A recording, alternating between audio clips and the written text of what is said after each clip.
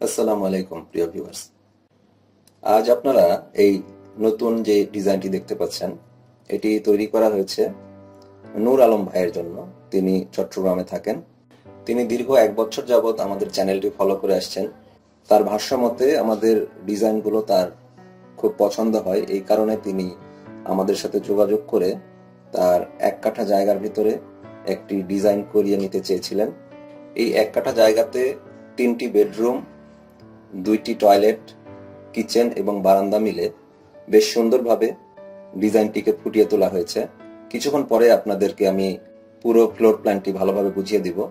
আপনারা যারা নূর আলম ভাইয়ের মতো আমাদের দ্বারা ডিজাইন করিয়ে নিতে চান, তারা স্ক্রিনে দেখানো এই নাম্বারে আমাদের সাথে যোগাযোগ করতে পারেন এবং ডিজাইন ফি দিয়ে আপনার প্রয়োজন মতো ডিজাইনটি আমাদের দ্বারা করিয়ে নিতে পারেন। তো যারা ভাড়া দেবার জন্য বা নিজে থাকার জন্য দুই রুম বা তিন রুমের একটি বাড়ির প্ল্যান খুঁজছিলেন, তাদের আশা করি এই ডিজাইনটি পছন্দ হবে, কারণ এখানে জমির পরিমাণ কম ব্যবহার করে সুন্দরভাবে তিনটি রুম দিয়ে ফ্লোরটিকে সাজানো হয়েছে, যাতে জমির অপচয়ও কম হয় এবং একটি ছোট ফ্যামিলি বসবাসের জন্য যা যা প্রয়োজন তার সবকিছু আপনারা পেয়ে যান। তো বন্ধুরা, চলুন আমরা এখন এই থ্রি ডি প্ল্যানটির ফ্লোর প্ল্যানটিকে কীভাবে সাজানো হয়েছে তা এক নজরে দেখে নিই এবং এরপরে আমি এই বিল্ডিংটি তৈরি করতে কত টাকা খরচ হতে পারে তার একটি আনুমানিক ধারণা দিয়ে দেব। বন্ধুরা, এটি হচ্ছে নিস্তলার প্ল্যান এটি হচ্ছে রোড জায়গাটি একদমই রোড সংলগ্ন। এই কারণে জায়গাটির প্রপার ইউটিলাইজ করা হয়েছে। আপনারা দেখতে পাচ্ছেন, এখানে প্রস্থ বরাবর বিশ ফিট এবং দৈর্ঘ্য বরাবর ছত্রিশ ফিট জায়গা রয়েছে। অর্থাৎ সাতশো বিশ স্কোয়ার ফিট জায়গার ভিতরে ডিজাইনটি কমপ্লিট করা হয়েছে। এখানে র্যাম্পের জন্য এবং এবং সামান্য কিছু গার্ডেনিং এর জন্য সাড়ে তিন ফিট বা তিন ফিট চার ইঞ্চি জায়গা ছেড়ে আমরা ডিজাইনটি করেছি। তো নিচতলাতে প্রথমেই একটি ছোট পার্কিং এরিয়া রাখা হয়েছে, যেখানে আপনারা চাইলে চার থেকে পাঁচটি মোটরসাইকেল পার্কিং করতে পারবেন অথবা একটি ছোট গাড়ি এখানে রাখতে পারবেন। এই পার্কিংটির এরিয়া হচ্ছে আট ফিট বাই পনেরো ফিট তিন ইঞ্চি এবং এই পার্কিংটির পরে রয়েছে একটি সিঁড়িঘর। এই সিঁড়িঘরের নিচ দিয়ে আসলে মূল বিল্ডিং এ প্রবেশ করতে হবে।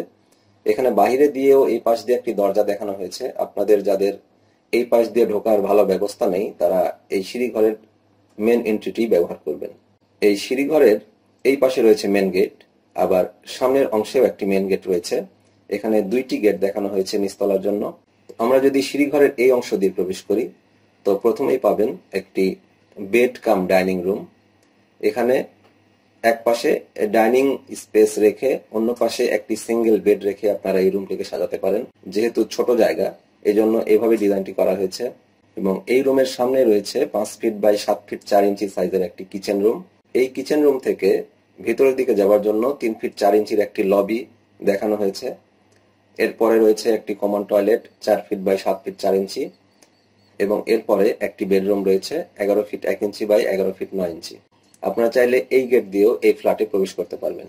তো নিচতলাতে পার্কিং থাকার কারণে খুব ছোট আকারে একটি ফ্ল্যাট রাখা হয়েছে এবং দুই তলা থেকে পাঁচতলা পর্যন্ত পুরো ফ্লোর প্ল্যানটি ঠিক এইরকম ভাবে সাজানো হবে। এই সিঁড়ি দিয়ে আপনারা যখন দোতলায় উঠবেন, তখন এই পাশে একটি মেন গেট পাবেন। এই মেন গেটটি হচ্ছে দোতলা থেকে পাঁচতলা পর্যন্ত যতগুলো ফ্ল্যাট রয়েছে, প্রত্যেকটি ফ্ল্যাটে যাওয়ার জন্য মেন গেট এবং এই সিঁড়ির এই পাশটিতেও একটি খুব চিকন করে একটি বারান্দা রাখা হয়েছে। আপনারা চাইলে এই বারান্দাটি নাও রাখতে পারেন। তো প্রথমেই এই গেট দিয়ে প্রবেশ করে একটি ড্রয়িং কাম ডাইনিং রুম পাবেন। এবং এই ড্রয়িং কাম ডাইনিং এর সাথে একটি অ্যাটাচ টয়লেটও রয়েছে।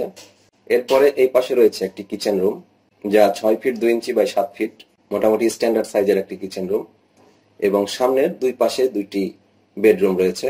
একটি হচ্ছে নয় ফিট চার ইঞ্চি বাই চোদ্দ ফিট দশ ইঞ্চি এবং অন্যটি দশ ফিট বাই এগারো ফিট এক ইঞ্চি। এই লম্বা যে বেডটি রয়েছে, এই বেডের সাথে একটি অ্যাটাচ টয়লেট রয়েছে, যা সাড়ে ছয় ফিট বাই চার ফিট দুই ইঞ্চি সাইজ এবং দুইটি বেডের সাথেই দুইটি বারান্দা রয়েছে। তো এখন আসি খরচের হিসেবে।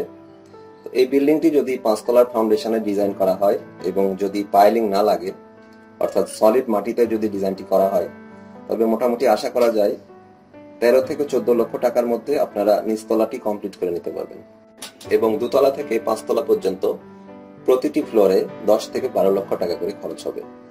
তো আপনারা আপনাদের বাজেট এবং সুবিধা মতো এক একটা ফ্লোর কমপ্লিট করে নিতে পারবেন।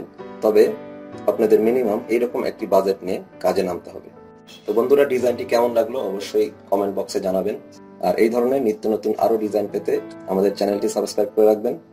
আজকের ভিডিও এই পর্যন্তই। সবাই ভালো থাকবেন। আল্লাহ হাফেজ।